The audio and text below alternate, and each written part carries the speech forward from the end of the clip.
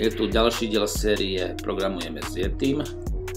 Ďalší diel série o jazyku JavaScript.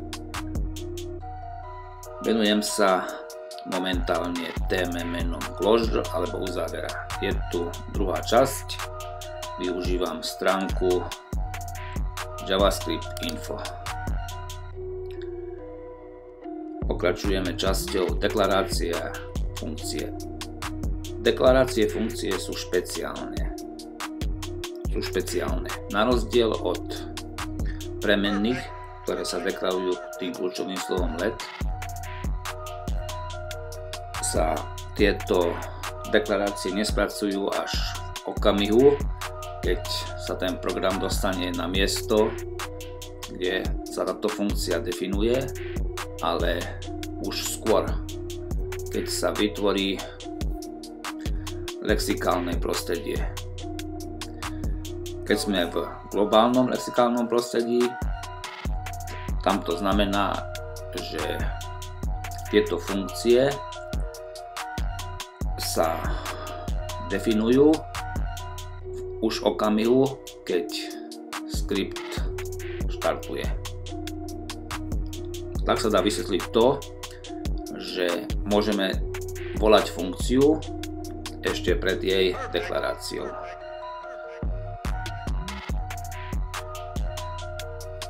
Takže keď začne ten JavaScriptový motor interpretovať váš kód, tak skôr ako to začne už má niečo svojej hlave, keď to tak povieme, už niečo o tom skripte vie. Hlavne vie veľa toho, veľa o funkciách. O funkciách, ktoré sú deklarované tým klasickým spôsobom. Čiže pomocou kľúčového slova function, meno funkcie a tak ďalej. Máme tu kód, ktorý demonstruje, že to lexikálne prostredie už na začiatku nie je prázdne. Tu máme napísané začiatok vykonávania skriptu a vidíme, že už tu máme hneď na začiatku vykonávania toho skriptu lexikálne prostredie, v ktorom ten JavaScriptový motor už vie, že tu má nejakú funkciu. No a postupne ako to pokračuje, tak do toho lexikálneho prostredia na tomto riadku sa pridá aj tá premenná a jej hodnota. Ale už úplne na začiatku je definované aj to vonkajšie prostredie. Sme v globálnom, takže je tam opäť null. No a pokračujeme ďalej. Vnútorné a vonkajšie lexikálne prostredie. Zatiaľ sme sa zaoberali iba tým, keď je tá funkcia definovaná, ale funkciu treba samozrejme niekedy aj zavolať. A v našom prípade tá funkcia povedz, funkcia say používa aj premennú z toho vonkajšieho lexikálneho prostredia. Takže keď sa dostane ten program na ten riadok, kde tú funkciu zavoláme, tak sa vytvorí nové lexikálne prostredie. Prostredie behu tej funkcie. To platí vždy. A toto lexikálne prostredie má v sebe tie lokálne premenné a aj parametre, ktoré sa použijú pri volaní tej funkcie. Tak vidíme, že tu máme ten parameter alebo argument tej funkcie name.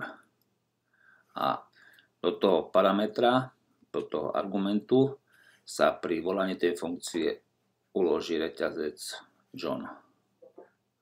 No a máme tu aj referenciu na to vonkajšie prostredie, ako sme si už povedali pred chvíľou, v tom vonkajšom prostredí sa nachádza vlastná definícia tej funkcie a táto premenná veta s hodnotou ahoj. A tiež tu máme odkaz na globálne prostredie, ktoré je null, pretože toto je už globálne prostredie.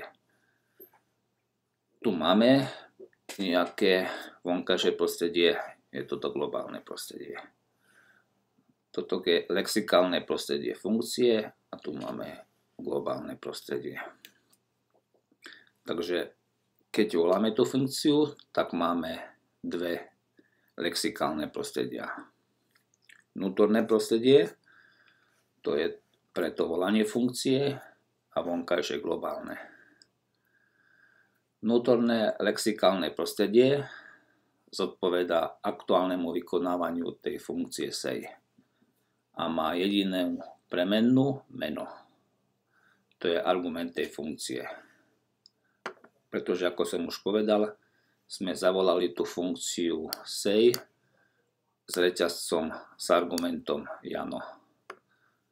No a keď to takto použijeme, tak tento argument name sa nastaví na toho Jana. No a vonkajšie lexikálne prostredie je globálne lexikálne prostredie. To vnútorné lexikálne prostredie má referenciu na to vonkajšie. Keď kód chce získať prístup k nejakej premennej, tak najskôr tú premennú hľadá v tom vnútornom lexikálnom prostredí a pot, až potom, ak ho nenájde, tak hľadá tú premenu vo vonkajšom prostredí. No a takto môže pokračovať ďalej a ďalej až na koniec reťazca. Keď sa objaví to nal, tak už, už nie je kde hľadať. Ak túto premenu nikde nenájde, tak ak použijeme striktný mod, tak to bude znamenať chybu. Ak nepoužijeme ten striktný mod, tak sa vykoná priradenie s hodnotou nedefinovanou, vytvorí sa nová globálna premenna.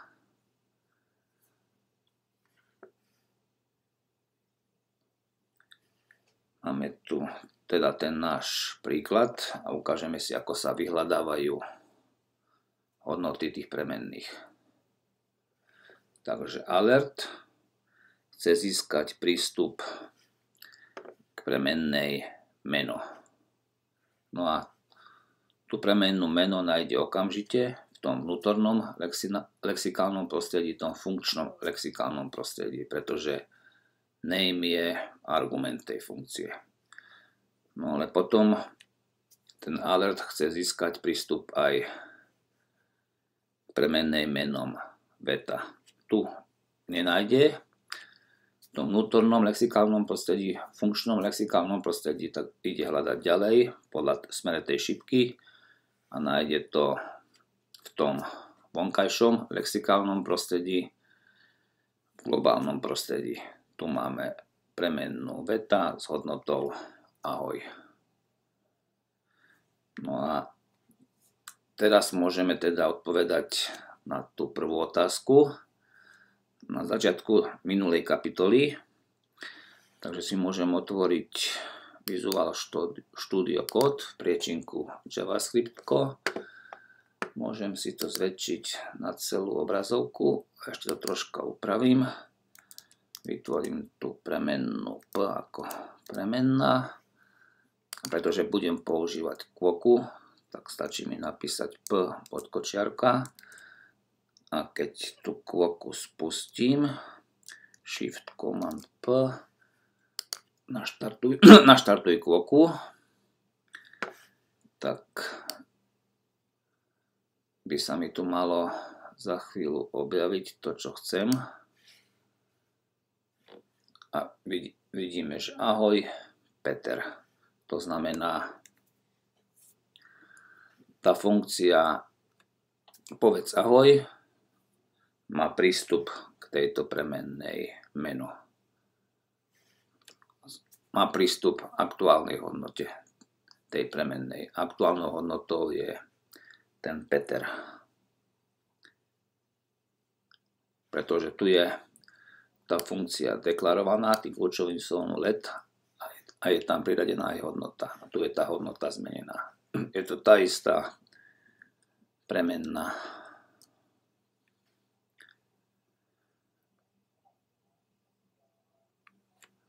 Takže tu máme aj vysvetlenie, vykonávanie tej našej funkcie, čo sme videli pred chvíľou, prebieha nasledovne.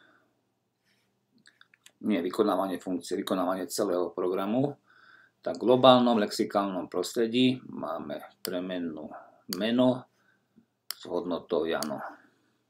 A na riadku označeného touto hviezdičkou sa tá globálna premenná meno mení a je tam priradená nová hodnota Peter.